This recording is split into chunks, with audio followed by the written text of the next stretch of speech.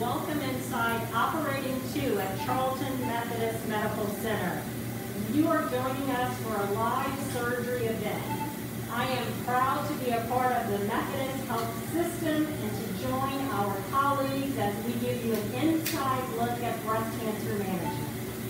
You're looking at Dr. Allison DiPasquale, who has the opportunity to work within the Methodist Health System and with Texas Oncology, Texas Breast Specialist. She is practicing and underway on providing excellent breast care for one of our patients who we will introduce shortly. She's been working on the patient now for an hour and a half, preparing for the breast surgery, checking and evaluating the lymph nodes. I want to take a moment and highlight our real hero today, Mrs. Sonia Johnson. Mrs. Johnson is a lovely 50-year-old mother and grandmother from DeSoto, Texas. She has a family history of breast cancer, so she has been vigilant about her breast care and obtaining her yearly mammograms. In January, she noticed an area of abnormality and concern in the left breast and underwent her medical examinations.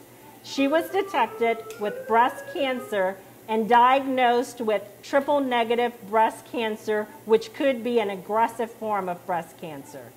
In preparation for today's surgery, she has completed chemotherapy to create shrinkage of the tumor to allow Dr. DiPasquale the opportunity to surgically remove the area from the breast and do a check and evaluation of the lymph nodes. One of the key questions you asked was how does surgery today different from surgery in the past?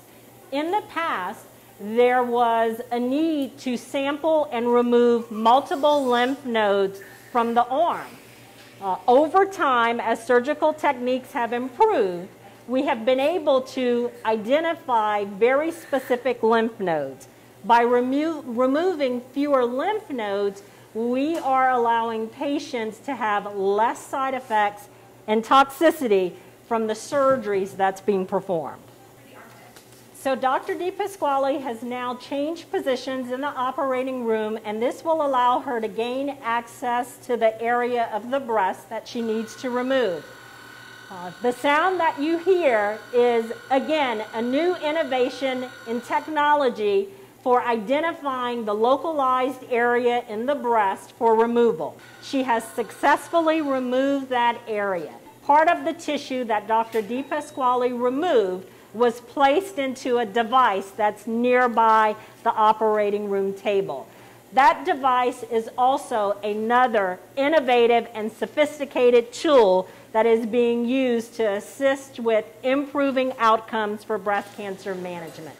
And with modern surgery techniques and procedures, many of our ladies will have a short recovery in the hospital, but then may be able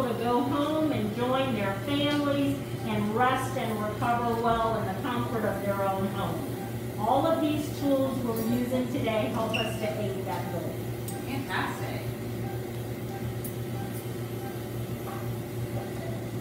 You're just about to do the oncoplastic closure.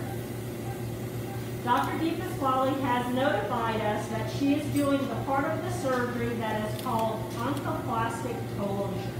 So what the oncoplastic closure allows her to do is to leave the least amount of footprint that there has been surgery performed in the breast. We want to thank you for joining us today. We hope you have been able to learn a lot through this opportunity. We were very excited to join you. We send warm wishes, kind words, and huge prayers for our patient Sonia as she starts her road to recovery.